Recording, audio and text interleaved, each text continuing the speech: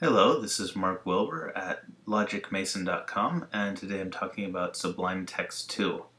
Uh, I like this editor quite a bit. Uh, there is a problem I have with it though. As you can see, I have a Ruby program here that factorizes numbers. If I hit Command B, Sublime will execute it. I see 16 factorizes into 2222 and if I do a different number, 1982. That factorizes into 2 and 991. That's all well and nice. Problem is, I am primarily a JavaScript developer, and Sublime doesn't have anything to handle that. Um, does have very nice uh, you know, syntax highlighting, there are all kinds of great plugins, but if I hit Command B, nothing happens.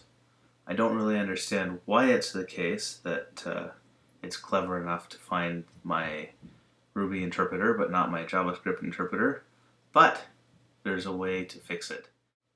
First of all, get Node.js if you don't have it yet, and then go to Tools, Build System, and as you notice there isn't one here for JavaScript. Make a new build system, then change this command from make to node. And gotta give it a little bit more information. Dollar file. You can just copy this in. Dollar file base name. And the working directory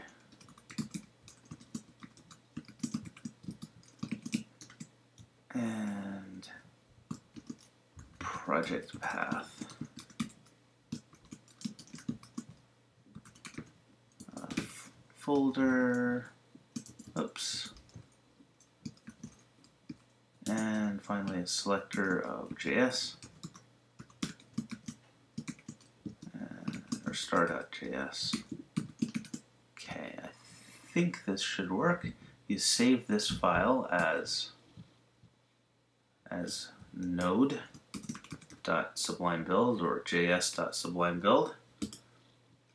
Then after you've done that, you can go to your JavaScript files, go to project, oops, sorry, go to tools and then build system, select node, which now appears here, hit command B, and look at that.